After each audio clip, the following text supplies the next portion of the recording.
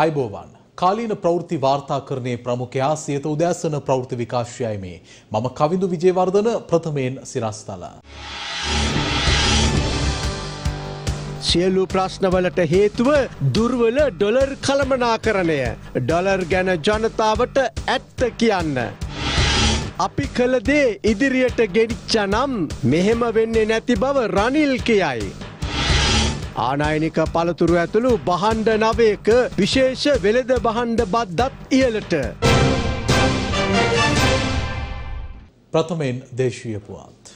අපේ රටේ ජනතාවට රෑට කළුවරේ සිටින්නටත් දවල්ට පෝලිම්වල ලගින්නටත් සිදුව තිබෙනවා.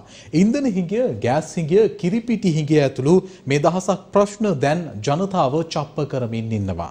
මේ හැම ප්‍රශ්නයකටම හේතුව පසුගිය ආණ්ඩුවද නැත්නම් වත්මන් ආණ්ඩුවද නැත්නම් රුසියානු යුක්්‍රේණ අර්බුදයද නැත්නම් අපේ දුර්වල ආර්ථික කළමනාකරණයද. එක්දහස් නමසය හතලි සටේ නිදහසින් පසු සෑම ආණ්ඩුවක්ම ජනතාවට අඩු වැඩි වශයෙන් පොරොන්දු දුන්නා. අපේ ජනතාව සතුව තිබූ අධීනත්වය නැති කළේ මේ රටේ ප්‍රධාන දේශපාලන පක්ෂ දෙක තුනම තමයි. මොනව හෝ නොමිලේ දෙනවා කිව් පොරොන්දුවලට චන්දය දෙන තැනට ජනතාව පත් වනා. වැඩියෙන්ම නොමිලේ සහන දෙන පක්ෂයට බලය දෙන්න ජනතාව පෙළඹුණා.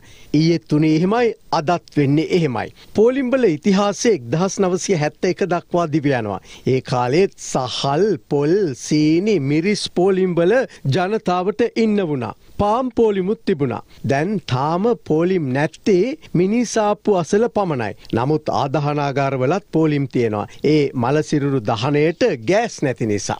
හැම දේශපාලන පක්ෂයක්ම කරන්නේ පෙරතිබූ ආණ්ඩුවට බනින එක. ඇත්තටම මාරුවෙන් මාරුවට ඒ පක්ෂ දෙක සහ ඊට මුක්කු ගහන පක්ෂ තමයි මේ රට පාලනය කළේ පාලනය කරන්න කියලා අමතක වෙලා වගේ. දැන් වත්මන් රජය බලයට පත්වෙනකොට පසුගේ රජය කාලේ පාස්කු බෝම්භ ප්‍රහාරය එල්ල වුණා. හෝටල්වට සිටි සංචාරකින් මිය ගියා. එනිසා අපේ රටට එන සංචාරකින් අඩු වුණා. ඒක ඇත්ත. විදෙස් ඩොලර් ලැබීම් පහත ගියා. වත්මන් ආණ්ඩුව බලයටාව.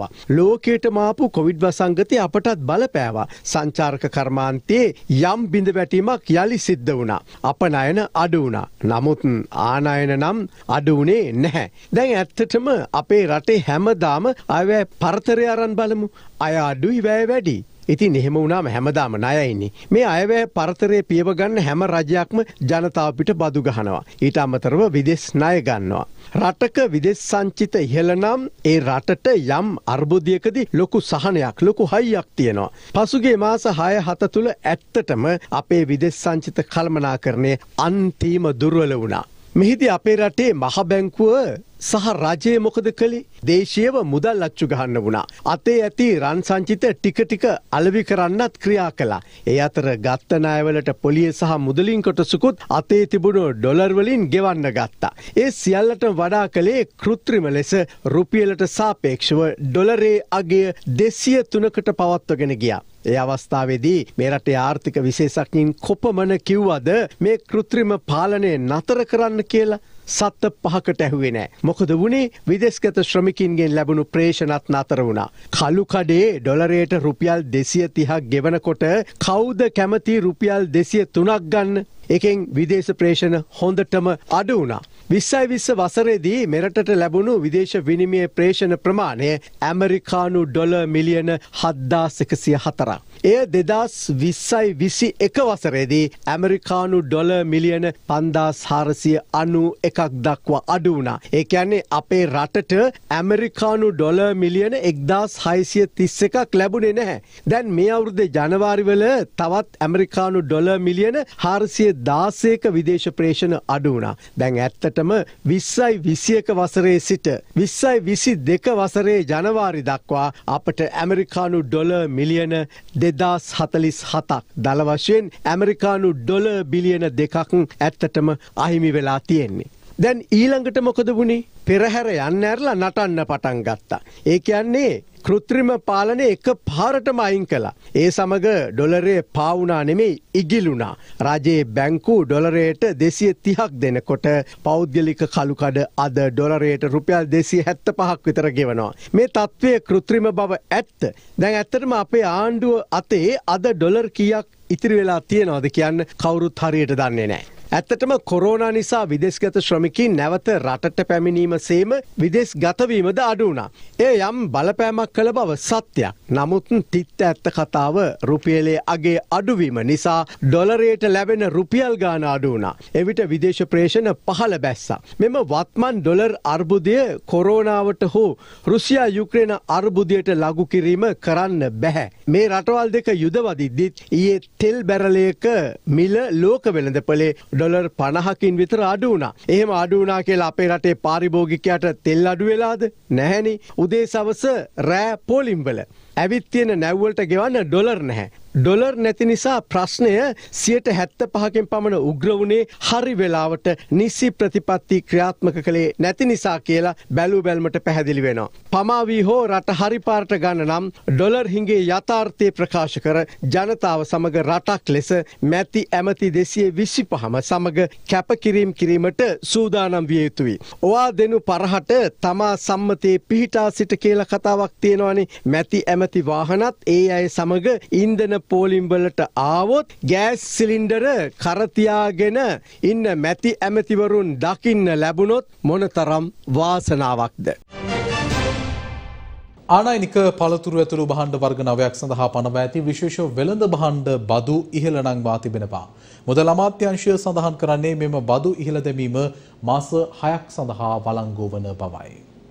ආනයනික පළතුරු ඇතුළු බාණ්ඩ වර්ග නවයක් සඳහා පනවා තිබූ විශේෂ වෙළඳ බාණ්ඩ බදු ඉහළ නංවා තිබෙනවා. මුදල් අමාත්‍යංශය පවසන්නේ මෙම බදු ඉහළ නැංවීම ඉදිරි මාස හයක් සඳහා බල පැවැත්වෙන බවයි. නව බදු ඉහළ යාමත් සමග ආනයනික යෝගට්, ඇපල්, මිදි, චීස් ඇතුළු බාණ්ඩවල මිල ඉහළ යනු ඇති. රජයේ විශේෂ වෙළඳ බාණ්ඩ බදු පනත යටතේ මුදල් අමාත්‍ය බැසිල් රාජපක්ෂ මහතායි මෙලෙස බදු ඉහළ නැංවීමට පියවරගෙන ඇත්තේ. එය අනුව ඇපල් කිලෝග්‍රෑමයක බදු රුපියල් දෙසියකින් ඉහළ දමා තිබෙනවා. මිදි කිලෝග්‍රෑමයක බද්ද ඉහළ දමා ඇත්තේ රුපියල් සියකින්.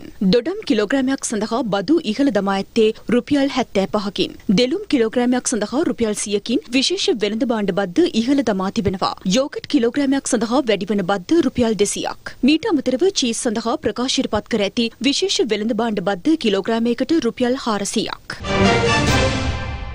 රට සංවර්ධනය වීමට නම් නව ආර්ථික චින්තනයක් අවශ්‍ය බව හිටපු අග්‍රාමාත්‍ය රනිල් වික්‍රමසිංහ මහතා පවසනවා. අපි IMF සංවිධානයට යන්නේ මූල්‍ය වැඩ කටයුතු ගැන සාකච්ඡා කරන්නට පමණයි. ඒත් එතෙන්ට ගියාම IMF එක විශේෂයෙන්ම ඉල්ලන්නේ රටේ ආර්ථිකය ස්ථාවර කරලා මේ රටේ ණය ගෙවන්න පුළුවන් විදිහට විදේශ විනිමය ලබාගෙන ඒ වගේම සංවර්ධන ඇති කරන්න පුළුවන් ප්‍රතිපත්ති මාලාවක්. ඒ ප්‍රතිපත්ති මාලාවට එකඟ වෙනවා නම් එකඟ වුණාන් පස්සේ විශේෂයෙන්ම IMF සංවිධානය මුදල් දෙන. ඒ මුදල් දෙන්නේ අනික් කටයුතු වලට නෙමෙයි ඒ වැඩසටහන ක්‍රියාත්මක කරන්න. ඉතින් එයා කියන්නේ ආර්ථික හදාගෙන එනකොට අනික් ප්‍රශ්න විසඳෙනවා කියලා. අන්න ඒකයි තියෙන්නේ. අපි ගිහින් හිතනවා නම් ආර්ථිකයේ ඔක්කොමටම ඕන මුදල් ටික IMF එකෙන් දෙන එක නෙමෙයි. අපි අපි දුන්නාම එතනින් IMF දුන්නාන් පස්සේ අනික් රටවල් වලින් ආධාර ගන්න පුළුවන්. නැත්නම් ආපහු අපිට ගිහින් ජාත්‍යන්තර වෙළඳ පොලේ මුදල් ලබා ගන්න පුළුවන්. ඒත් මේ හැම එකක්ම කරන්න මූලික වශයෙන් අපි IMF එක්ක සාකච්ඡා කරලා සාර්ථක වෙන්න ඕනේ. අපි කෙටි කාලිනව හිතන්න හොඳ නැහැ. අපි දීර්ඝ කාලිනව හිතන්න ඕනේ. රටක් හදනවා කියන අවුරුද්දක් නෙමෙයි. දැන් 77 අපි රට හදලා ඒකෙන් භුක්ති විඳලත් තියෙනවා. දැන් රට හදන්න ඕනේ තරුණ කණ්ඩායම් වලින්. දැන් අලුත් පදනමක් දාන්න ඕනේ. මේ පරණ ක්‍රමයට හැමදාම මැද පෙරදිග ආදායම් තියෙන්නේ මේ සංචාරකය නිසා ඩොලර් 70ට විකුණලා හරියන්නේ නැහැ. ඇඟලුම් කර්මාන්තයෙන් විතරක් අපිට ඉදිරියට යන්න බෑ. ඒත් අපි අනාගතය බලන්න ඕනේ. ඒ අනාගතයට හරියන විදිහට ආර්ථිකය හදන්න ඕනේ. ඒ වැඩ කටයුතු කරන්න උවමනයි. ඒ ගැන හිතන්නේ නැත්නම් ඒක විශාල ප්‍රශ්නයක්. අපි එතෙන්ට යනවා නම් ඒ සඳහා උවමනා මූලික ප්‍රතිපත්ති ගැන ජාතික එකඟතාවයක් තියෙන්න ඕනේ. අපේ රටේ වෙලා තියෙන ජාතික එකඟතාවයක් නෑ. ඒක ආණ්ඩුවක් අහම අනික් ආණ්ඩුව කරන්නේ වෙනස් කර. දැන් අපි කරපු ඒවා ඉදිරියට ගෙනිච්චා නම් අද මේ ආණ්ඩුවට ප්‍රශ්නයක් වෙන්නේ මේ තත්වයකට වැටෙන්නේ ඒ ඒක සිදුුනේ නැහැ. පක්ෂ දැනගන්නවා ජාතික එකඟතාවයක් ඇති කරන්න. අපි අනාගතය දිහා බලලා අපි ඉදිරියට යන්න ඕනේ. නැත්නම් අපිට අනාගතයක් නැති යහපත් රාජ්‍ය පාලනයක් සිදු කිරීමට නම් දසරාජ ධර්ම අනුගමනය කළ යුතු බව විපක්ෂ නායක සජිත් ප්‍රේමදාස මහතා පවසනවා. ලෞතුරා බුදුරජාණන් වහන්සේ හැම විටම දේශනා කරා අනුන්ට උපදෙස් දෙන්නට පෙර අනුන් නිවැරදි කරන්නට පෙර අනුන්ට යෝජනා කරන්නට පෙර තමන් වග බලා ගන්නට ඕන සුදුසු ගුණෙහි පිහිටා සිටින්. රට දිහා බැලුවම ලෝකේ දිහා බැලුවම කී දෙනෙක් ඔය ආදර්ශය අනුගමනය කරනවා. අනුන්ට දේශනා කරන්නට පෙර තමන් සුදුසු ගුණෙහි පිහිටා සිටින්. ඒ උතුම් බුදු වදන තුළ මහා ගැඹුරු අර්ථයක් තිබෙනවා. රාජ්‍ය පාලනය ගැන බොහෝ අදහස් තිබෙනවා. බොහෝ යෝජනා තිබෙනවා. බොහෝ අය උපදෙස් දෙන්නටත් ඉදිරිපත් වෙන. පෞද්ගලිකව මා සිතන ආකාරය යහපත් රාජ්‍ය පාලනයක් උදෙසා දස රාජ ධර්ම අනුගමනය කිරීම හැම අවස්ථාවකටම උචිත. දුකේදිත් සැපේදිත් දෙකෙහිදී දසරාජ ධර්ම කේන්ද්‍ර කරගෙන යහපත් රාජ්‍ය පාලනයක් ක්‍රියාත්මක කිරීම අපි සියලු දෙනාගේම අභිප්‍රාය වේ යුතුයි. කොළඹ ආනන්ද විද්‍යාලයේ සහකාර විදුහල්පතිවරයෙකු ලෙස වසර 23ක් සේවය කළ පූජ්‍ය අතපත්තු කන්දේ ආනන්ද නායක ස්වාමින් වහන්සේට ගෞරව නාමයක් පිරිනමා තිබෙනවා. ඒ පිළිබඳව දැනුවත් කිරීම සඳහා පූජ්‍ය මුරුත්තෙට්ටුවේ ආනන්ද නායක ස්වාමින් වහන්සේ පසුගියදා මාධ්‍ය හමුවක් ඇඳවා තිබුණා. ආනන්ද හාමුදුරුවෝ කියන්නේ කවුද කියන එක අපි දන්නවා. ආනන්ද මහාවිද්‍යාලයේ වහන්සේ ආචාර්යවරයා ධර්මාචාර්යවරයා ධර්මී අපේ රටේ අනාගත බාල පරම්පරාව යහමඟ ගෙනියන්නට කැපවීම වැඩ කරපු හාමුදුරන් වහන්සේ නම. මේ නායක පදවි දිහා වඩනකොට හිතේ කෙස් ගන්න නායක පදවියට පිරනවා. අපි අතපත්තු කන්දේ ආනන්ද හාමුදුරුවෝ කියලා කියන්නේ මේ වගේ නායක පදවියක් දීපු පුද්ගලයෙක් නෙමෙයි ඉතලා ඉහළ මහා නායකකමක් තරම් දරන්න පුළුවන් පුද්ගලයෙක් තමයි හාමුදුරන් වහන්සේ නමක් තමයි අතපත්තු කන්දේ ආනන්ද හාමුදුරන් වහන්සේ. මම මෙහෙම කියන්නේ පසුගිය වකවානුවේ මේ රටේ ඇතිවෙච්ච අසහනකාරී තත්ත්වය, අලුත්කාරී තත්ත්වය, ජාතික වශයෙන්, ආගමික වශයෙන්, සමාජීය වශයෙන් පිරියරයින යුගයක අපේ ආනන්ද හාමුදුරන් වහන්සේ රට රකින්න ජනහඬ සංවිධානයේ නායකත්වයක් අරගෙන මේ රට ඉදිරියට ගෙනියන්නට වහන්සේ සෑහෙන්න මහන්සි වුණා.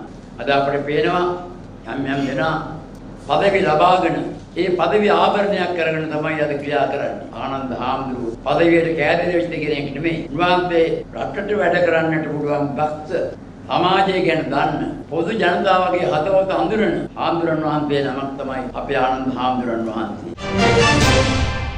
දැන් දේශපාලන වේදිකාවේ ඇසුණු කතා.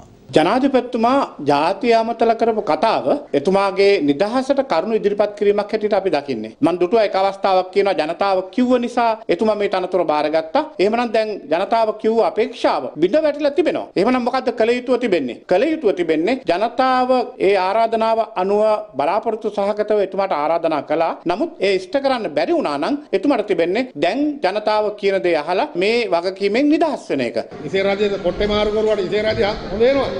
ආණ්ඩු මාරු කරාට ඩොලර් එනවා සංචාරකෝ සුද්ධ වෙන්න පටන් ගන්නවද? මේ අච්චු ගහන්නයි ඩොලර් ජනාධිපතිතුමා? ඒ නිසා තමයි දැන් ඒකට වැඩපිළිවෙල සකස් කරන්න යන්නේ. ජාතිය අමතලා ඊටාම පැහැදිලිව තමයි ප්‍රකාශ කරා රටට වෙලා තියෙන දේ. එතුමාගේ වැරද්ද නෙමෙයි. ජනාධිපතිතුමා ජාතිය අමතනවා කියලා ප්‍රකාශයට පත් කරපු වෙලාවෙ ඉඳලා ඒක විහිළුවට ලක් වෙමින් යනවා. ජනාධිපතිවරයාගේ ජාතිය අමතා කතාව කියන්නේ නහයෙන් ඇදිල්ලක් පොඩ්ඩක්වත් ජනාධිපතිවරයාගේ ජාතිය අමතා කතාවේදී හරි වෙන කිසිම ක්‍රියාමාර්ගයක පොඩිවත් අව්‍යාජ භාවයක් අවංක භාවයක් පේන්නේ අඩුම ගානේ මේ අර්බුදයට හේතු වෙච්ච කරුණු මේකට හේතු වෙච්ච ප්‍රතිපත්ති සහ ඒක සම්බන්ධ තමන්ගේ වගකීම සම්බන්ධ බාරගත්ත විදියක්වත් පේන්නේ නැහැ. ජනාධිපතිතුමා ජනාධිපතිතුමාගේ අදහසක් ඉදිරිපත් කරා. තුමා කිව්වා IMF යන බව කිව්වා. ඒ වගේම මේ කටයුතු කටයුතු කරගන්න සියලු දෙනාගේ සහයෝගය ලබා දෙන්න කිව්වේ. වගේම දැන් තියෙන ඉන්ධන සහ ගෑස් වලින් පීඩාවට පත් වෙන ජනතාව ගැනත් සිහිපත් කළා තමයි එතුමා ඉතින් කතා කරේ. සාමාන්‍ය රටේ ජනාධිපතිවරයා ඉතින් එහෙම මං හිතන්නේ මාසික සැරයක්වත් ජනතාවත් එක්ක අදහස් ඉදිරිපත් කරන එක සහ මම හිතන්නේ ඉදිරියේදී සම්මාදයක් ඇති කරගන්නවා නම් වඩා හොඳයි කියලා. බැසිල් රාජපක්ෂ මුදල් අමාත්‍යාංශ ලේකම් ආටිකල් ඉන්දියාවට. දැන් මේ වෙලාවේ මොකටද යන්නේ? බැසිල් රාජපක්ෂ මහත්තයාගේ ඥාති පුතෙක් කවුද ඉන්නවා ඉන්දියාවේ? එයා බල්ලෙන්නද? මුදල් අමාත්‍යාංශ ලේකම් එක්ක කියන්නේ මොකටද කියලා රට දන්නවද? දැන් ජාතිය අමතලා ඕක කියන්නේ නෑනේ ගෝඨාභය රාජපක්ෂ. ඉන්දියාවට ගියා මල්ලි සල්ලි මල්ලක් ගේන්න කියලා. ඊළඟට තමයි එන්නේ කිව්සුම් අස්සම් කරන එක. අපි කැට තියලා කියන්නම් ලංකාවේ තෙල් බෙදා හැරීම දැන් තියෙන්නේ තුනෙන් පංගුවයි IOC එකට මුළු එකම දෙන්න තමයි වෙන්නේ. මොකාවත් ඔච්චරයි මොකාවත් කරන්න බෑ කියලා ගොන් කතා කියනවා. ඇයි මීට කලින් කිව්වේ අපි හම්බ කරගත්තොත් අපි කනවා. දැන් හම්බ කරගෙන කන්න දිනවද? හම්බ කරගෙන බෙහෙත් ටික ගන්න දිනවද? හම්බ කරගෙන ගෑස් ටික දිනවද? හම්බ කරගෙන තෙල් ටික ගන්න දිනවද? අපි හම්බ කරොත් අපි කනවා කියලානේ ගියේ හිටියේ. දැන් මොකටද? අපි හම්බ කරත් කනවාද නැද්ද කියන්නේ මොකද්ද? දේශපාලන. දේශපාලන රටේ පාලනය බලපානවා අපි හම්බ කරත් කන්න පුළුවන්ද නැද්ද කියලා දැනගන්න. සියත උදැස්සන ප්‍රවෘත්ති විකාශයමින් නිමාවට පත්වනවා වැඩුදුරු තොරතුරු සඳහා පිවිසන්න www.සියතනිවස්.lk අපගේ වෙබ් පිටුව වෙත. අප අලිත් හමුවන්නේ අපගේ මධ්‍යහන ප්‍රවෘත්ති විකාශයෙන් එතෙක් ඔබට සුබදර්ශන.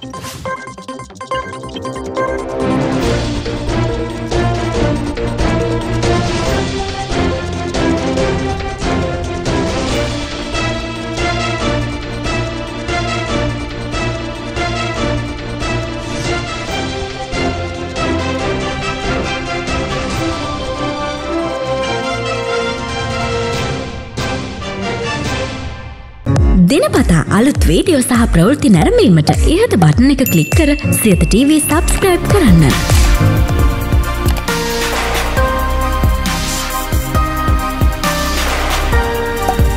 අලුත් වීඩියෝ ගැන මුලින්ම දැනගන්න මෙම සීනුව ක්ලික් කරන්න.